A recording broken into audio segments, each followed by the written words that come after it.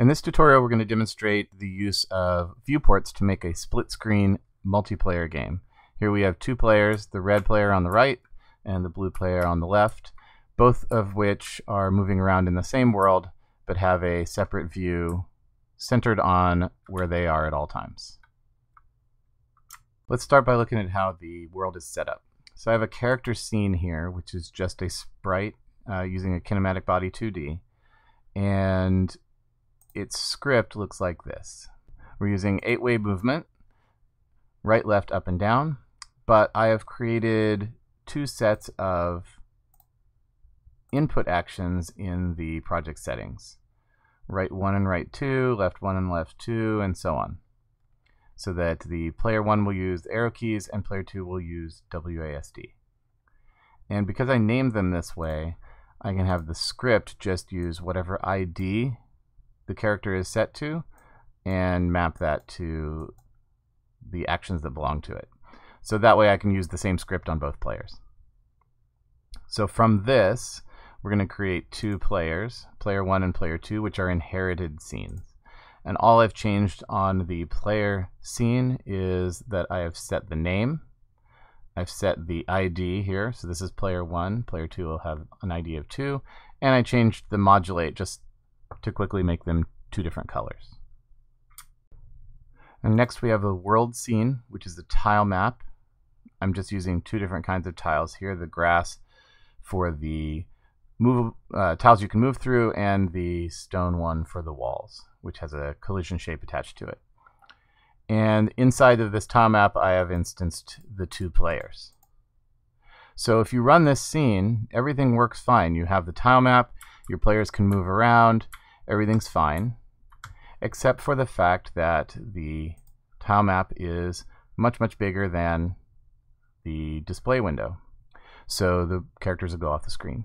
Now, if this was a single player game, you would attach a camera to the player and just have that camera follow them around as they moved around the map. But that won't work with two players because you need a camera following each player and you need those cameras to display separately. So that's why we're going to use viewports.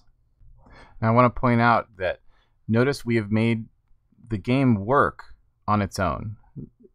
Even though we haven't done these viewports yet to display the players, we have all of the game features working the way we want. And if you set things up that way, it makes things a lot easier. If you try to combine the split screen view with your game logic, things start to get messy really fast. So now that we have a working game that does everything we want it to do, the only thing we have to worry about is just what we display on the screen. So we're going to do that by creating a new scene, a main scene. I'm using a plain node as the root of this scene because it just needs to contain the other ones. And so on this screen, we want to show two viewports next to each other.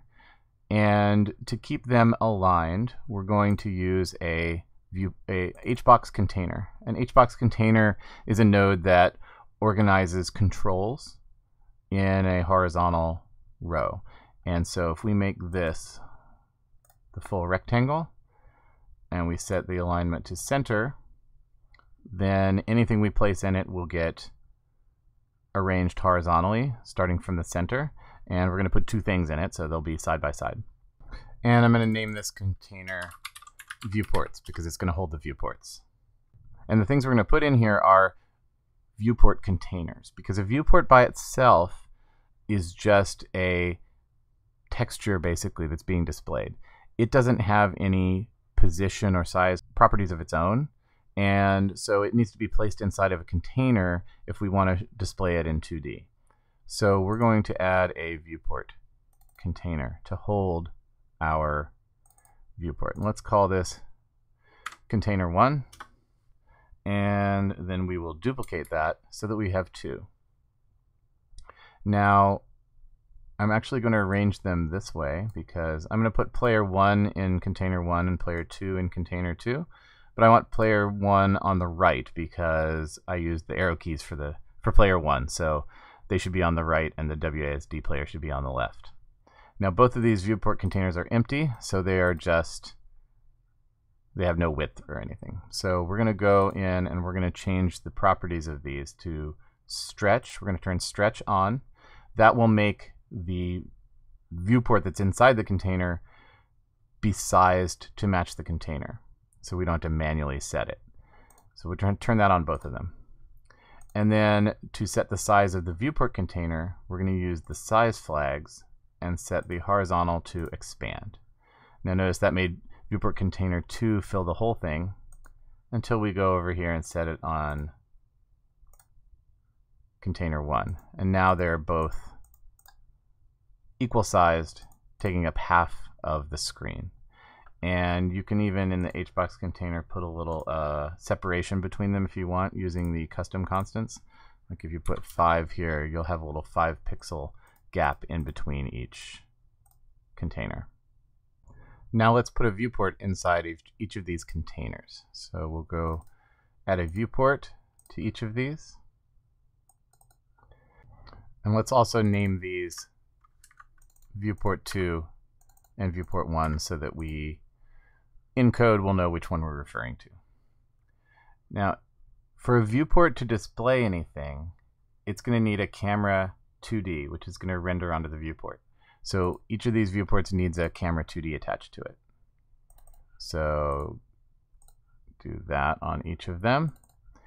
And don't forget on the camera 2D to check the current property.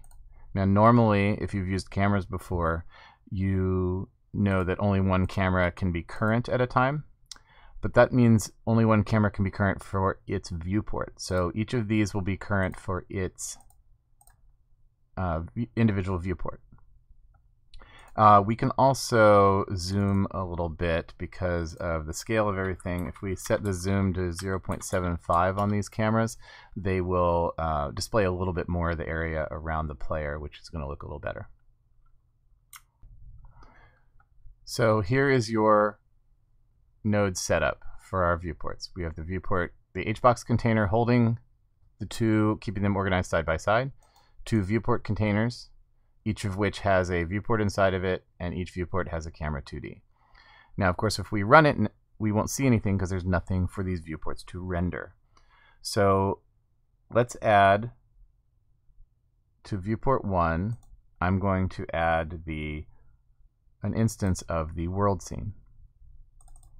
So the world, remember, contains the map and the players. So now when we run it, we will see the world over here in viewport 1. And the players are still moving like they were before. The cameras are not following yet, and the other viewport isn't working, but you see how the world is rendered in there. Now, you may notice that on your screen you're not seeing the world rendered in the viewport in the editor. There is a small bug with control nodes that they don't always update on the screen. And the way you can refresh them is you switch to a different scene and then switch back. You'll see the you'll see it properly. What happened is the viewports are now getting resized. So see how the viewport size is now 510 by 600 because it's being automatically scaled by the viewport container to be that size. And this little blue rectangle is representing the camera's view, right? Because we're zoomed out.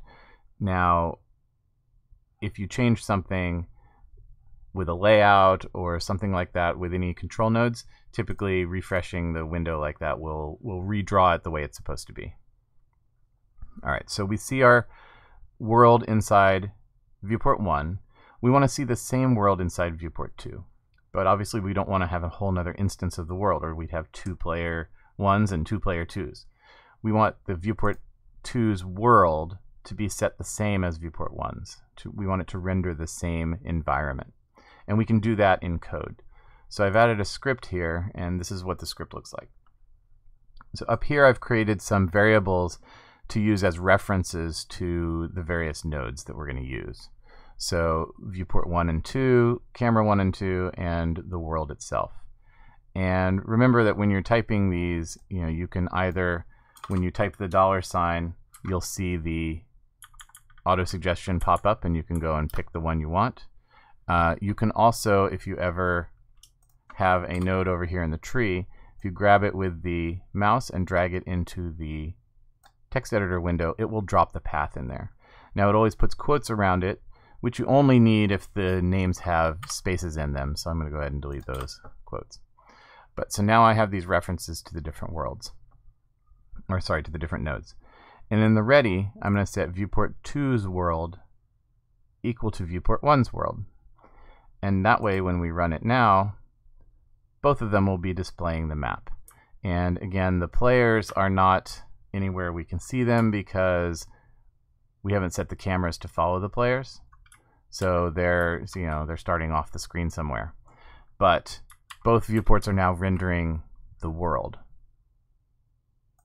So now we need those cameras to follow their assigned players. So to each of the camera 2Ds, attach this script. This lets us set a target for the camera, and if we've set a target, it will follow the position of that target. That's all we need the cameras to do, is just follow their target. So you might also, I think it looks a little better on the cameras if you disable the drag margin, which means the player will stay centered exactly in the center of its viewport as it moves around. So now each of these cameras can be assigned a target. So in the main, that's where we will do that. So here in main and the ready, I've assigned camera 1 its target to player 1 and camera 2 to player 2. Now when we run it, everything's going to work the way we want. So there we see the players centered on their viewports, and when you move player 2, the camera follows, and when you move player 1, the camera follows. And that's it. So now we have our split screen working the way we want. Now let's just add a couple of refinements. So in the main, I'm going to set the camera limits. So what I have here is a function called set camera limits that gets the size of the world, you know, of that tile map, and goes through each of the cameras and sets their left, right, top, and bottom limits to those coordinates. So what that does is it makes it so that when you run, the player can't go off of the maps. If I get all the way up here to the end, see how the camera stops scrolling when I reach the edge of the map and we don't see any of that blank space out there that's not part of the world. Okay, this is a useful thing to use whenever you're using tile maps and have a scrolling camera. All right, we're almost finished, but I want to add one more feature, which is a common use of viewports, and that is to create a mini map, a tiny view of the whole world where we can see the entire map and where we are in it. So I'm going to add another viewport container, but not inside the HBox.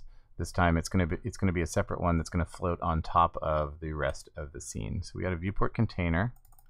and I'm going to call this minimap. And we're going to set that to stretch and inside of it, we're going to put a viewport.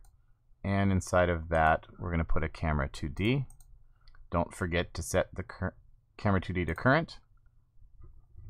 And for this, we want the camera zoomed way out. So I'm going to try 9 by 9. I think that should be pretty good.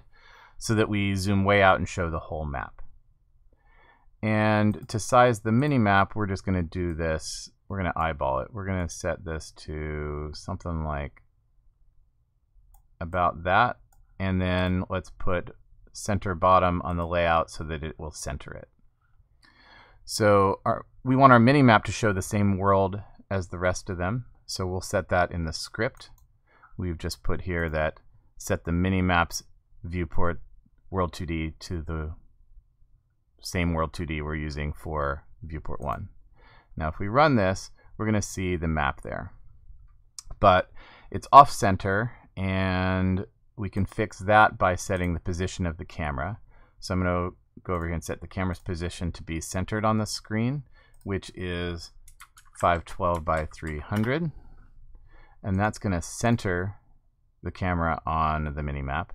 But now we have this gray area around the edges. And that's empty space right outside of the map. So we could try and adjust and get the size just right, but what we can do is a viewport has a property called transparent background. And if we turn that on, it will not draw any of that gray space. So now when we run it, we'll see our mini map down there on the screen. And you can see yourself in it as you move around. Both players independently. And we have our working mini map. All right, that'll do it for this demo. I hope this helps you when you need to use viewports in your project. Please leave comments below if you have any questions.